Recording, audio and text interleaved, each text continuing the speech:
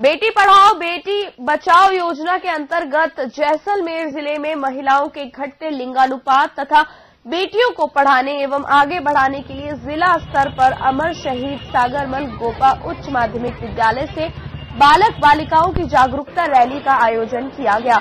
मुख्य कार्यकारी अधिकारी ने बेटी बचाओ, बेटी पढ़ाओ की बालक बालिकाओं को शपथ दिलाई व झंडी दिखाकर रवाना भी किया। इस दौरान उप निदेशक महिला बाल विकास अधिकारी स्नेहलता चौहान, प्रधानाचार्य नवल किशोर गोयल, प्राध्यापक नरेंद्र वासु तथा जिला समन्वयक किशोर बिस्सा के साथ ही अन्य गणमान्य नागरिक उपस्थित थे।